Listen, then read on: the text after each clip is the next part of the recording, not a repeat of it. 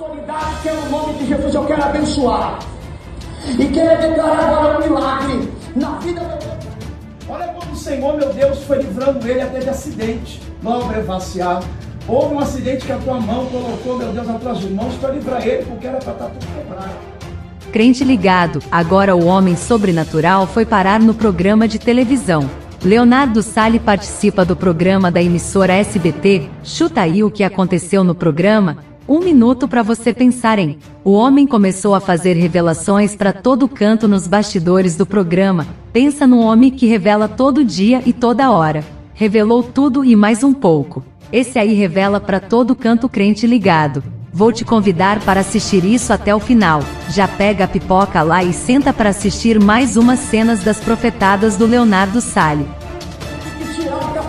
da vida. E quase tendo várias depressão. Eu vou ficar doente. Quem me tirou não foi o médico. Quem me tirou não foi o remédio.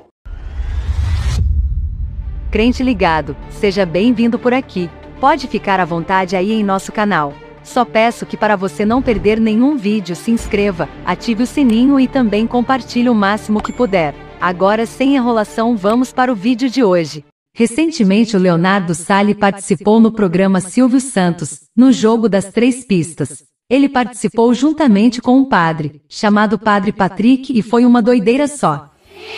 Vocês sabem, né? Mas tem gente em casa que não sabe. Um é padre e o outro é pastor. Olha isso. Pastor Leonardo. Leonardo Salles. Também bonitão. O pastor, né? Primeiro crente ligado, vamos ver a revelação para uma moça no meio do programa. Alguém gravou. Acreditamos que isso foi nos intervalos ou foi ao vivo e depois cortaram. Sei lá, mas veja aí. A autoridade que é no nome de Jesus eu quero abençoar.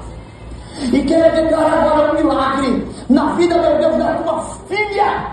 Não foi Não foi você que me escolheu. você que me escolheu. Foi o Senhor. Foi o Senhor. Porque esse mês Porque esse mês, que passou, esse mês de abril, esse mês de abril, foi o mês que eu tenho mais falado com Deus.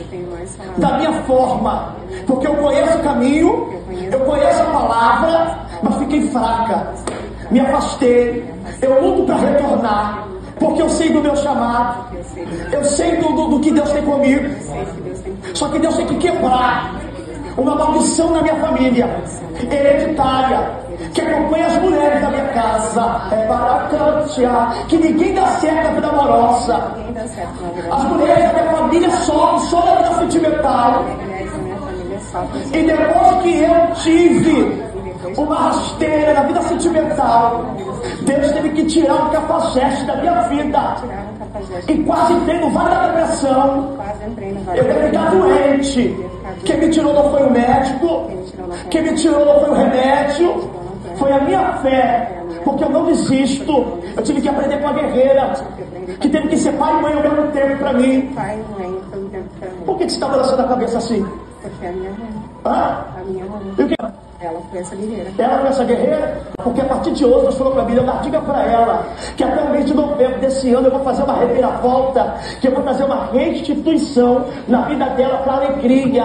Diga assim, ó, a minha guerreira, A minha me, me assustou. Me assustou. com a saúde dela, porque ela deu um susto na família toda. Ela deu um susto na frente. Todo mundo pensou que ela ia partir, Todo mundo pensou que ele ia mas eu orei. Mas eu orei. e Deus segurou ela, porque eu tenho um voto com Deus, tenho que ela não pode morrer ela não pode morrer. enquanto eu não honrar ela, meu coração, o coração dela não está no dinheiro, O coração dela não o coração dela não está na terra, mas eu vou tirar ela daquela casa, eu vou fazer um reboliço ainda, eu vou fazer aquela obra, porque tem gente da família que é família, mas tem gente que tem nome de família, mas não se comporta como família. de A tua parentela é grande, mas se resume só a tua mãe. A tua parentela é grande, mas se resume a pouca gente. Deus falou assim, ó, passa a mão no teu cabelo e não fica preocupada, diga, diga assim, eu não vou ficar careca, Eu não vou ficar careca. porque o meu cabelo estava caindo e quebrando. Porque meu cabelo tá Mas isso era obra de barbaria, Mas isso era de feitiçaria.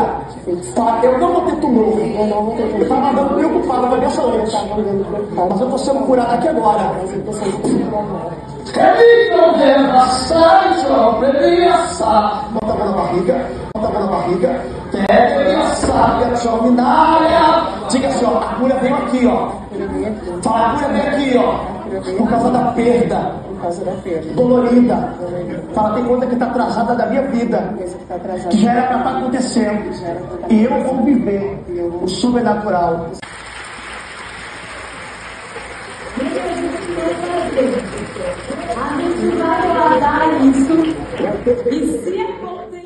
Como eu disse aqui, crente ligado, preste atenção aí. O homem começa a revelar agora pro liminha, eita lasqueira, pensa no manto. É uma doideira atrás da outra. Tem muita coisa ainda para viver. O tempo de parar não acabou. Por quando se levantaram contra ele durante um tempo e tentaram tirar ele da posição que foi o Senhor que colocou. Mas o Senhor tem honrado o teu filho porque faz dois anos que um vento passou para tentar mudar as coisas do lugar, mas o Senhor foi com ele e guerreou. Porque quem o Senhor coloca, o diabo não consegue tirar e ele tem uma fé muito grande, como um monte de Sião que não se abala. Olha como o Senhor, meu Deus, foi livrando ele até de acidente. Nobre vaciar. Houve um acidente que a tua mão colocou, meu Deus, as tuas mãos para livrar ele, porque era para estar tudo quebrado. Mas o Senhor tem guardado e operado sobrenatural, porque toda palavra contrária contra a vida dele não vai permanecer. E devoremácia, houve uma reunião, houve uma mesa de madeira onde muitos sentaram. E o nome do teu filho foi tocado e falaram assim: acho que tem que mudar um pouco a página, vamos recapitular, vamos fazer. Mas o Senhor entrou em cena e falou: não, não, não, não, não. Fui eu que coloquei. O homem soltou até um áudio onde o Yuji Tamashiro diz que também recebeu uns revelamentos do Leonardo. Esse Leonardo tá tendo mais revelações do que João na ilha de Pátimos. Eu cheguei lá no SBT, aí as produtoras vieram conversar comigo. Ariude, nossa, veio um rapaz aqui, nossa, foi incrível e tal. Ele começou a falar. Então... Eu falei, quem que é? Aí falaram o seu nome, eu falei, ah, eu conheço, mano. Ele já, já revelou coisas pra mim também, tal, tal, tal. Gostaram muito, mano, muito. Parabéns, mano. Da hora. Vamos marcar assim quando tiver em São Paulo de bobeira. Tamo junto, meu irmão. Bom, a gente brinca aqui no canal, mas também acredito em revelações e profecias e que Deus usa sim os seus servos. Mas soltar profetada para todo canto eu desconfio crente ligado. Mas é isso aí, é revelação que não acaba mais.